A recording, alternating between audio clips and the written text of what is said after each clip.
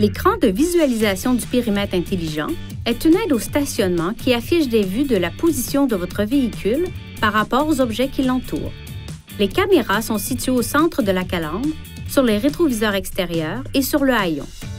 L'écran de visualisation du périmètre intelligent affiche une combinaison de vues lorsque le contacteur d'allumage est à la position ON. La vue virtuelle en plongée offre une vue aérienne tout autour de votre véhicule.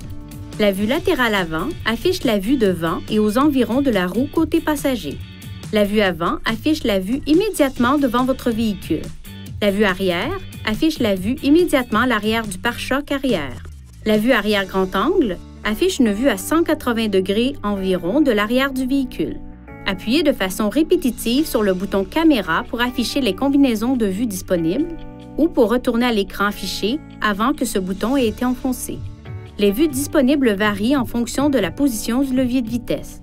Certaines combinaisons de vues sont affichées en format écran divisé. L'écran de la caméra ne s'affiche pas lorsque le véhicule roule à plus de 10 km/h environ. Les vues avant et arrière utilisent des lignes de couleur pour afficher la distance approximative entre un objet et votre véhicule. La ligne rouge indique qu'un objet se trouve à environ 0,5 m. La ligne jaune indique qu'un objet se trouve à environ 1 mètre. La première ligne verte indique qu'un objet se trouve à environ 2 mètres. Le cas échéant, une deuxième ligne verte indique qu'un objet se trouve à environ 3 mètres. Lorsque le volant est tourné, des lignes de trajectoire prédictives sont également affichées à l'écran.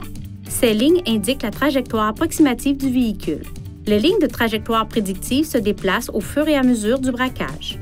Le cas échéant, le système de détection des objets en mouvement, MOD, fonctionne lorsque l'écran de visualisation du périmètre intelligent est actif. Il peut informer le conducteur des objets en mouvement se trouvant autour du véhicule lors de la sortie d'un stationnement ou d'un garage ou pendant des manœuvres de stationnement. Une icône MOD bleue s'affiche à l'écran lorsque le système de détection des objets en mouvement est opérationnel. Elle s'affiche en gris à l'écran lorsque le système n'est pas opérationnel. Lorsque le levier de vitesse est en position de conduite, et que la vitesse du véhicule est inférieure à environ 10 km/h, le système de détection des objets en mouvement détecte les objets qui sont en mouvement dans la vue avant. Lorsque le levier de vitesse est en position marche arrière et que la vitesse du véhicule est inférieure à 10 km/h environ, le système de détection des objets en mouvement détecte les objets qui sont en mouvement dans la vue arrière. Si le système détecte un objet en mouvement près du véhicule, un carillon retentit et un cadre jaune s'affiche à l'écran là où les objets sont détectés. Le cadre jaune demeure à l'écran tant que des objets en mouvement sont détectés par le système de détection des objets en mouvement. Le système de détection des objets en mouvement ne fonctionne pas si une portière ou le haillon est ouvert.